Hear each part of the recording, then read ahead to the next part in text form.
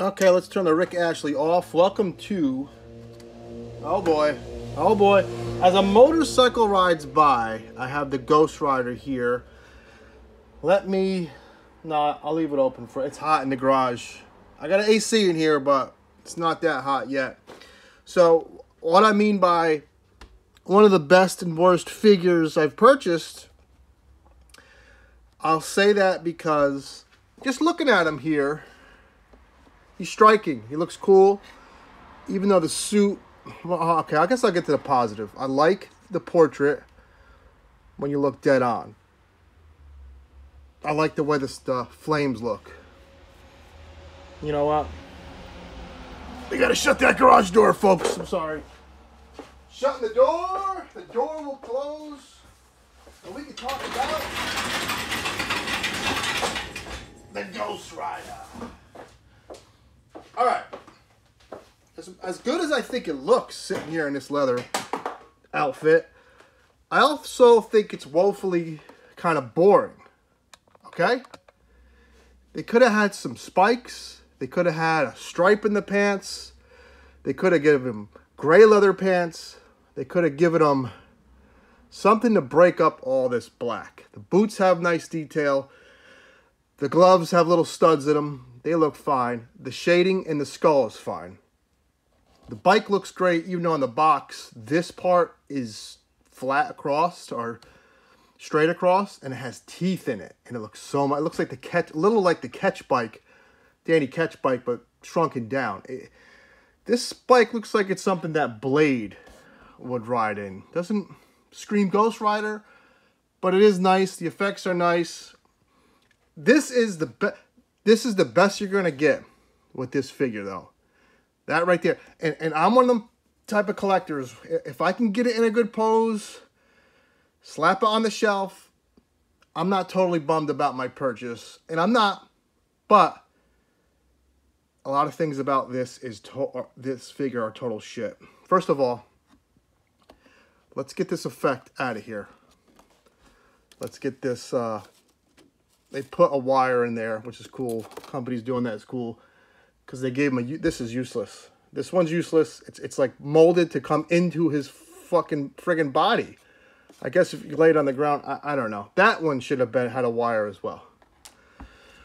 I'm not going to spend a lot of time on it because uh, in the Mezco group, someone pointed out, and someone, of course, tried to shoot that guy down, but I'm the second guy to point it out, and the probably, you know, the Mezco group, even though people can critique stuff, you will have those people that just will not accept it. His feet, folks, it does not reach that pedal. His foot does not reach that pedal. Looks go, and he does he doesn't look too small for the bike physically.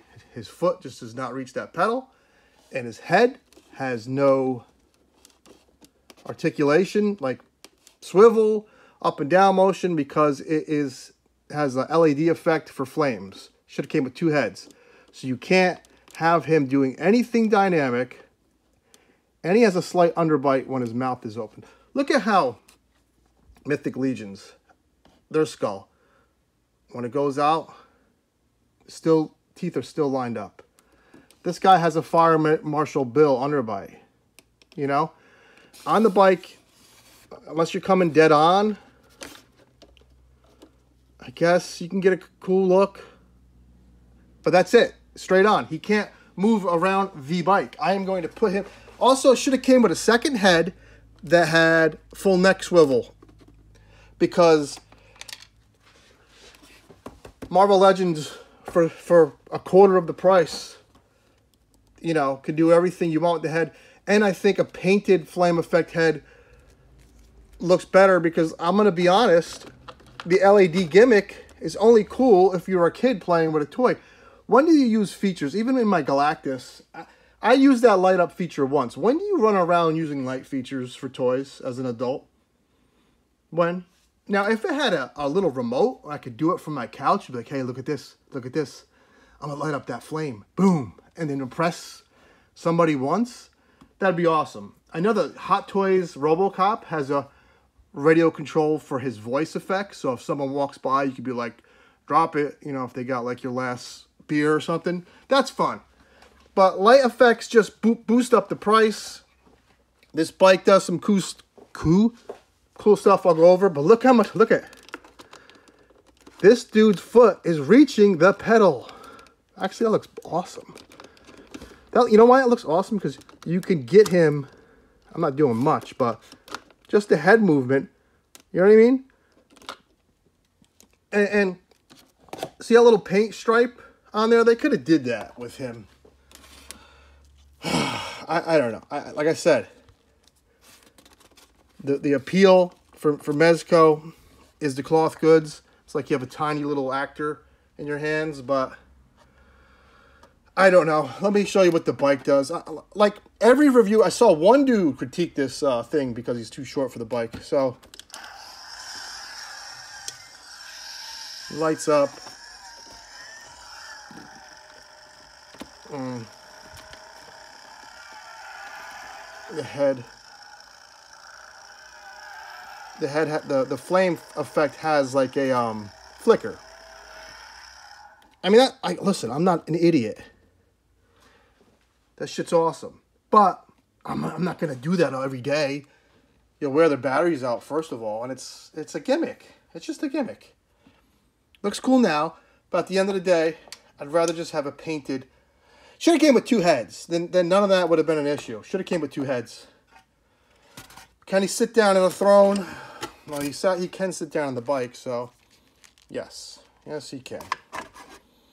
Ultimately, you got a guy with a skull head and a boring leather suit that doesn't fit his bike. And that's a bummer because there is a lot of cool things about this. I, I think overall they just mailed it in. I, I don't know. They put a lot of effort into that bike. You know how I know they mailed it in? They made a Judge Dredd about five years ago. The Judge Dredd was sold separately and with the Lawmaster. You know why? Because separately, it was still a really impressive Judge Dredd figure. And by himself, this is not an impressive Ghost Rider figure. That's the facts. Take care, have fun. If you like what I'm saying, please subscribe. If not, well, you know, can't win them all.